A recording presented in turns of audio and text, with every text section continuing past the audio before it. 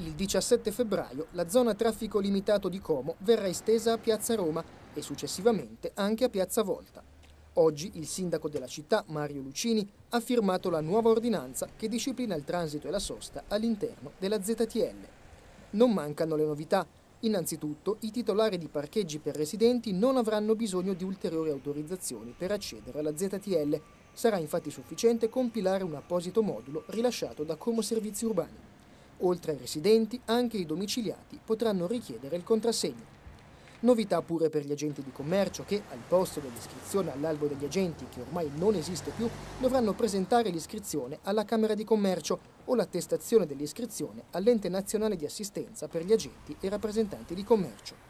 Per quanto riguarda i veicoli adibiti al rifornimento degli esercizi pubblici e commerciali, sono state estese le fasce orarie durante le quali si potrà accedere alla ZTL dalle 6 alle 10.30 e dalle 14 alle 15.30 dal lunedì al venerdì e dalle 6 alle 10.30 del sabato.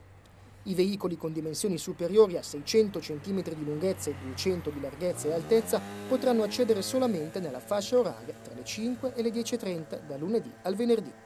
Nell'ordinanza, infine, è prevista l'esclusione della richiesta di autorizzazione per i veicoli diretti ai parcheggi Arena e Iasca e per i veicoli che accedono alle autofficine in zona traffico limitato.